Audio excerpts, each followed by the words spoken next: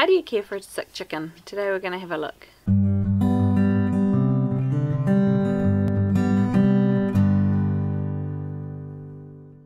G'day there, I'm Dana from Piwakawaka Valley Homestead. Over the week we've had um, a couple of sick chicks and I thought I'd make a quick video about how best to look after unwell chickens. I'm going to be honest, I actually forgot that I was meant to do some video recording today, so I've left it quite late.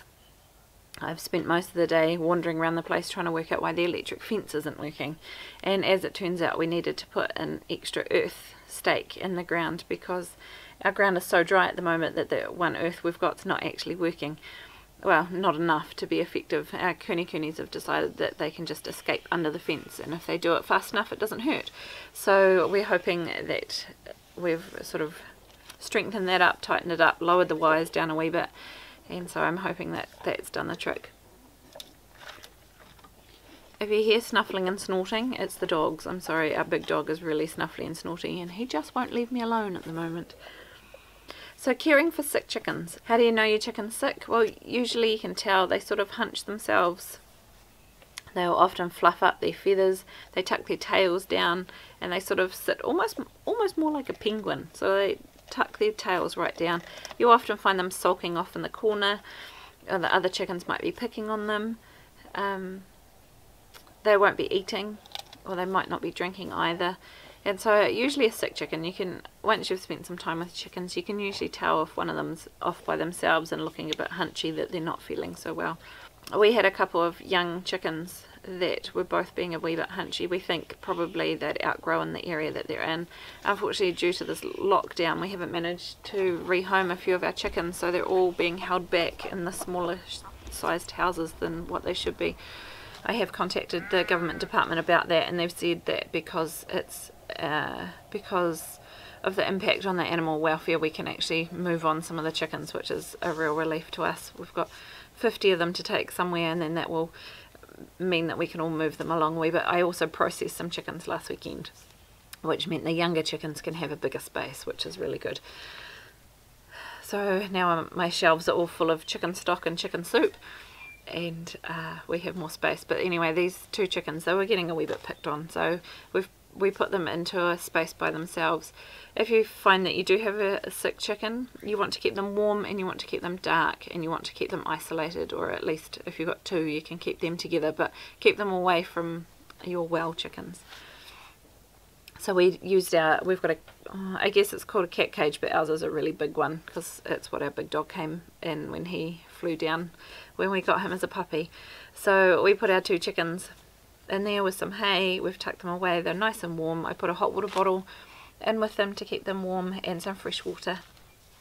The trick is then to keep them separate and until they're back up and eating and drinking and running around like they usually would. Now if your chicken, if you notice, if you've got laying hens and it's a laying hen that's sulking and you notice its tail pumping, that's usually a really sure sign that it's got an egg stuck and that's considered an emergency with a chicken. And so if you can get it vet assistance if you can't get vet assistance giving it a nice warm bath for about 15 minutes and well greasing up its vent area often and then putting it somewhere dark often that's enough for it to be able to pass it itself.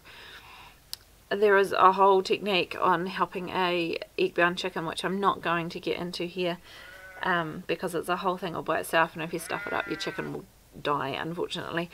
The problem with egg binding is that when a chicken's about to lay an egg, it actually seals off its exit for its poop. And if the egg gets stuck, that exit gets held shut as well. So the chicken will just get a backlog of poop, which, apart from being horribly uncomfortable, can also cause it to become quite toxic and it will die. So it is really important that if you notice that tail pumping with the chicken that you get it help very quickly. For normal chickens that are just a bit off their food, there are a lot of conditions that can affect chickens, but sometimes they're just being a bit picked on, they're feeling not so well. So there are things you can do to help support them getting well. Obviously, if your chicken's going downhill and it's not doing well, getting a vet is really the best thing you can be doing. But there are things you can do while you're waiting for your vet appointment. So we keep them separate, you keep them warm, keep them dry, we put apple cider vinegar in their water. Apple cider vinegar is actually a really good health tonic for chickens. It helps um, increase the acidity in their crop, which helps prevent them getting sour crop. And if they do have sour crop, you can add some apple cider vinegar to their water. Don't give them straight apple cider vinegar because obviously being vinegar, it's acidic and it will burn their throat. So what you want to do is about a quarter of a cup of apple cider vinegar diluted into about 2 litres or 2 quarts of water and that's usually a good strength that it's still acidic enough to be helpful and help rebalance that natural bacteria in their crop to help prevent uh, to help deal with sour crop and it's also got a lot of good probiotics and stuff that generally is really good for their digestive system. Another thing you can add to their water or to their food is some garlic. Uh, we just generally, if we've got an unwell chicken, we'll just chop up some garlic and mix it in with their food. It's a natural antibiotic, it's also a natural antiviral, antibacterial. Um, and quite a good thing to add to an unwell chicken's diet.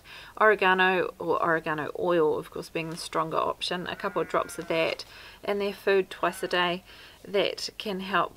Um, it's a, again a natural antiseptic, antibiotic, and really can be really beneficial if your chicken's unwell. If your chicken's not eating, obviously you need to see a vet, but if your chicken's not eating, adding some sugar water can be really beneficial to give them the energy that they need to keep keep fighting. There are a few different ways to make a sugar water solution. You can use powdered glucose, you can use normal white table sugar, you can use uh, molasses. Molasses and brown sugar are both a natural little bit of a laxative, so if constipation might be the issue, that's the way to go with those and honey being the other option.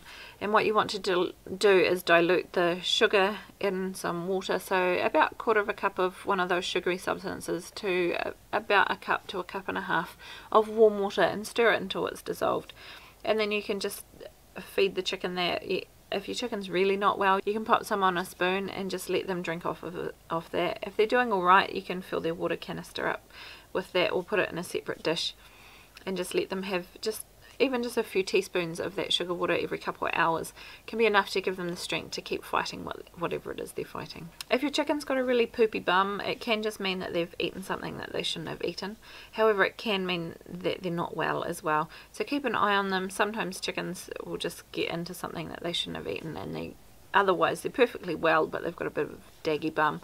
If on the other hand your chicken is quite clearly unwell and has diarrhea it can get dehydrated really quickly so make sure you're keeping those fluids up while you're waiting for your vet appointment and hopefully they'll have some sort of solution for you. Luckily for us our chickens came right within a couple of days we didn't actually get the vet for them because apart from them being a little bit sulky they weren't exhibiting any signs that they were really unwell. We think they were probably just being picked on so we fed them up, gave them plenty of water and within a couple of days they're doing really well and we've popped them back in with the other chicks.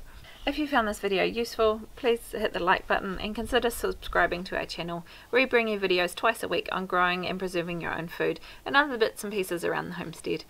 We'll see you in the next one.